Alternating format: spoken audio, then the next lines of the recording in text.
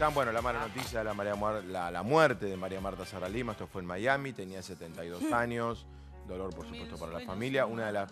Quizás hay chicos jóvenes que no la conozcan. Una gigante. Una de la canción. cantante o la cantante de boleros, de baladas más Número uno. Justo. que ha tenido Argentina. Número uno.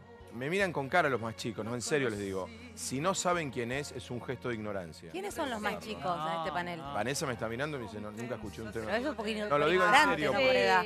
No, lo digo en serio, me voy a poner un minuto serio. Como la ignorancia está de moda y, y queda bien en Argentina, googleenla.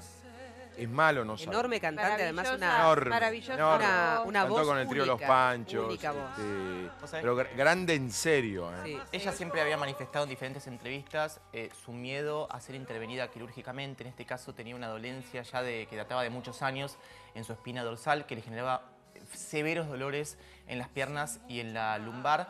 Eh, estaba en Miami y fue entrevistada hace tiempo antes de que le, le- le encontraran el diagnóstico años, de ¿no, sí, un diagnóstico fulminante. Eh, ella fue a operarse por un tema, insisto, de dolores en sus articulaciones. La operaron. Y le encontraron, la operaron y le encontraron esa operación, eh, bueno, un, un can- un cáncer, un cáncer, una metástasis Cantó con el trío Los muy Panchos, cantó con todo el mundo. A ver, Y ella decía, o me opero, no, quiero, camino no más. quiero hacer comparaciones. que- No quiero hacer comparaciones, pero María Marta Serralima descubrió eh, versionar al bolero de manera moderna 20 años antes que Luis Miguel. Exacto. Claro, por Sí, supuesto. sí. claro. Perdón por hacer Esa es la, no, pero esa es la, es, es así. Para que ubicarnos si hubiera de- sido hombre hubiera sido mucho más No, no, reconocida. de lo importante que fue para la música. Realmente. Le mandamos de aquí un saludo y por supuesto Se están llevando los mejores músicos, pésame ¿eh? a, a poco. a toda la familia y a toda la gente que quería María. Grandes de verdad. Bueno, nos vamos con Gastón.